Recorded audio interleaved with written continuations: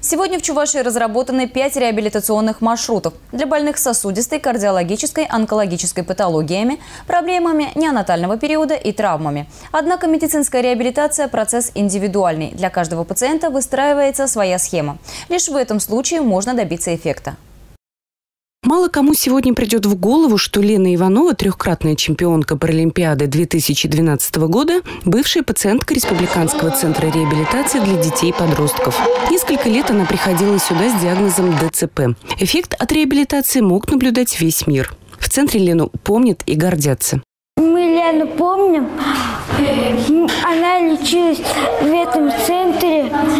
И мы тоже хотим быть похожи на нее. Вы даже смотрели, как она выиграла Олимпиаду, как она прославила Чувашию. Я стараюсь на нее быть похожим. Хочу, как она же, выиграть выиграть Олимпиады, прославить Россию. Близнецы Вадим и Данила ходят в центр уже 10 лет. Родственники не верят своим глазам. Мальчики не то что ходить, сидеть не могли самостоятельно. Первый раз э, попали мы сюда в 2002 году, когда нам было полтора года. И мы вообще, можно сказать, сидели, мои мальчики сидели на моих руках, ничего не могли делать. Э, ходить не могли. В общем, э, вот прошло 10 лет. Вот в течение этих 10 лет мы достигли очень многого благодаря этому центру. Мы вот уже ходим, Вадим уже по центру бегать самостоятельно, сам уже начал. Данилка, правда, со мной за одну ручку, но тоже вот благодаря этому центру, сотрудников этого центра всему многому научились. Сегодня в центре все ребята с ограниченными возможностями здоровья проходят целый комплекс реабилитационных процедур. Широко применяются методы физиотерапии с использованием современных аппаратов, лазеротерапии, бальнеотерапии, массажа, лечебной гимнастики и физкультуры. Заметный эффект дают костюмы Адели и Гравистат, пневмокостюм «Атлант».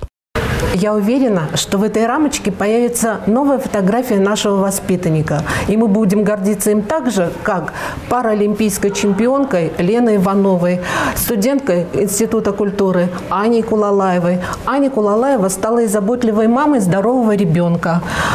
Катя Ворошилова стала лауреатом премии «Филантроп».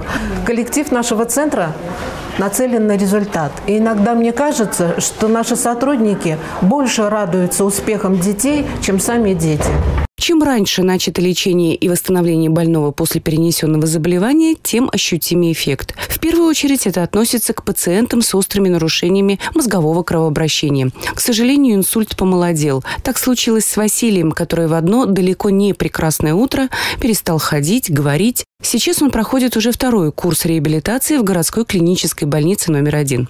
Полгода назад я не разговаривал, не ходил. А сейчас идите сами. Сегодня я хожу и разговариваю.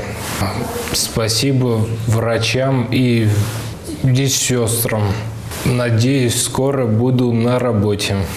Восстановление после инфаркта, разного рода травм, ограничивающих двигательную активность, других заболеваний – процесс долгий, но при правильном подходе приносит очень хорошие результаты. Елена Гальперина, Леонид Клейман, Андрей Шоклев, Андрей Спиридонов,